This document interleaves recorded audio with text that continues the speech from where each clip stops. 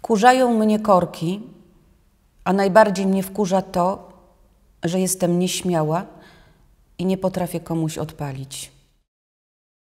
Bardzo nie lubię, jak mnie ktoś ignoruje, unika mnie, wkurza mnie to, że dorośli albo młodzież nie słyszą albo nie chcą słyszeć tego, co mówię.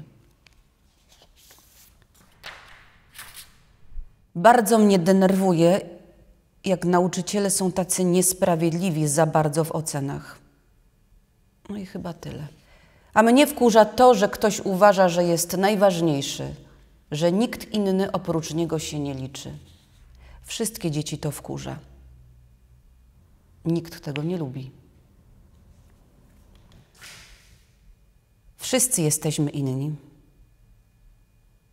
ale nigdy gorsi.